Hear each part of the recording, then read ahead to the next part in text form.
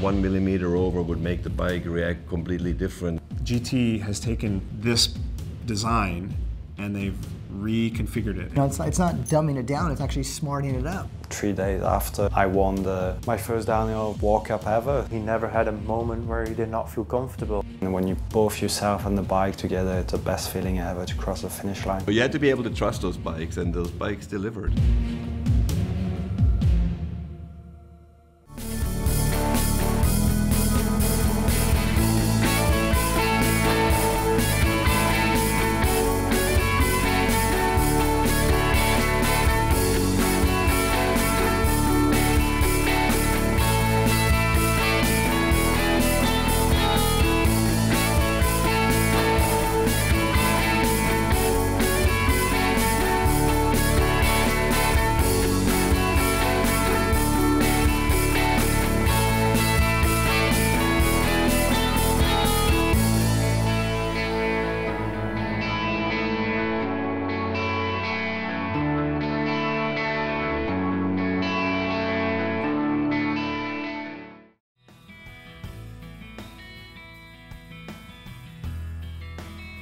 Been around for the last 30 years and it's been fun the whole time, but I think it's never been funner than now because we have better bikes and better trails and better riding styles or techniques, you know, and it's just like it came to a point that was unimaginable like 30 years ago. Actually, I've always dreamed to go back on a 90s bike uh, with almost no suspension and actually ride the tracks that the guys were riding back in the days and uh, just to see how it feels like and to ride on a 30 or 25 years bike.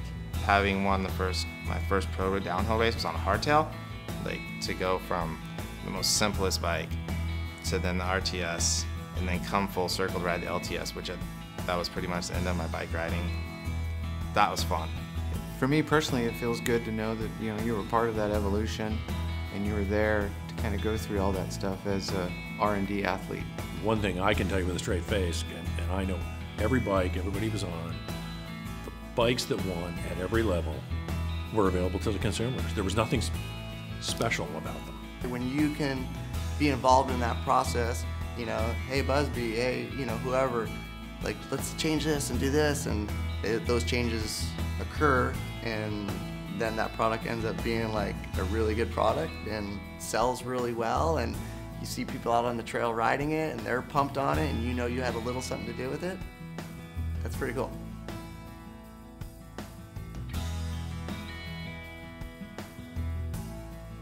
We ride stock bikes and I like to see this inspired people out there go and ride their bikes. We want people to be part of this team and the brand and appreciate the brand.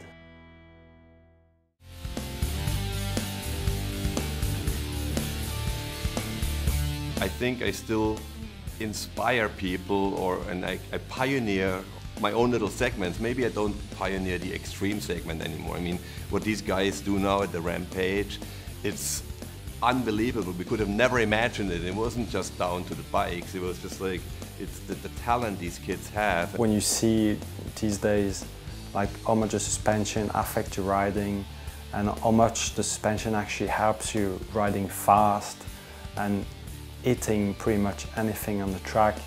And you know, back in the days it was, they had to handle the bike and they couldn't go anywhere like pretty much we do right now. I had a real eye-opener in 2014. I was managing a World Cup team and I had been off the circuit for about eight years and we did a course walk and I was walking with the riders and I thought I was going to impart this wisdom like I'm going to tell the I'm going to help the guys and I'm going to tell them how to take the section. And we crested over this blind rise and there was this nasty rock garden. And there was a line that was cutting through from the local riders and the local races and it was this perfect slot. And I was like guys we'll set up the turn and we'll line up and you're just going to be able to go through there no brakes. And and uh, one of the riders like pulled me and he goes hey man we're going to jump the whole thing. And I I had to walk back up to the top. I was standing at the bottom at the time, so I walked back to the top and I looked at it, and man, it was like 45 feet blind.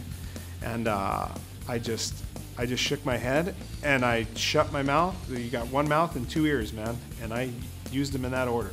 And you can't stop the mind, athletes. And that's why, you know, Carter for title, that's why I still say champ whenever I see him because, man, when you're a freaking champion, you deserve it and you should be recognized as a champion.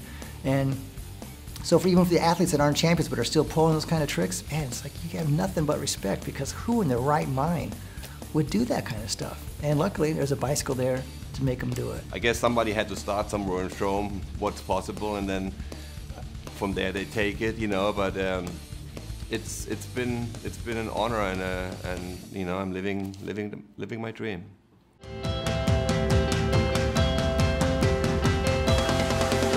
This one was back in the day. This was like my first jersey, I think, a long time ago.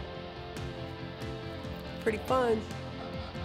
You know, I've been doing this for 46, 47 years, and um, I'm I never stop feeling good when somebody comes up and you know pats me on the back and tells me what they thought, what they've done. We all had the passion, from from the people that worked at the company, to the racers. Eh, just, I think just GT, anybody that was at GT had passion for winning and for racing, and and it showed through everything we did. To this day, I mean, you know, I'm still always in awe of, of all of the things we accomplished. I'm no longer with GT, but you know, it doesn't mean that I'm not going to bleed blue and yellow. Whether we are at the apex of the racing, I don't. That's not for me to judge. But I know it changed my life, um, without a doubt. I don't know what I would have become. Yeah, I was 15 years old. The first contract I've signed with them, it's been seven years now already that I'm riding for GT, and you know, it makes me just push myself even more at the races just because I love the brand and I love everyone working at the company as well and they've always been so nice to me that you know I just want to give it back to them uh, when I'm racing. How proud of you are you of the that so many people kind of accomplished their personal goals and thousands of people and hundreds of thousands of people have enjoyed cycling based on technology that you developed in your career at GT. How does that make you feel? Hundreds, if not millions of people. I know. I mean, I grateful. Just grateful. I here we go again. I don't know. It's just that's just how I am as a person, you know. And having people, you know, just be happy that I was part of it. It isn't about money. It isn't about anything. It's about are you happy at the end of the day when you put your head on your pillow? And that's all you'd want. And if my bike helped you, I, you know, that's that's all I was looking for. Cut.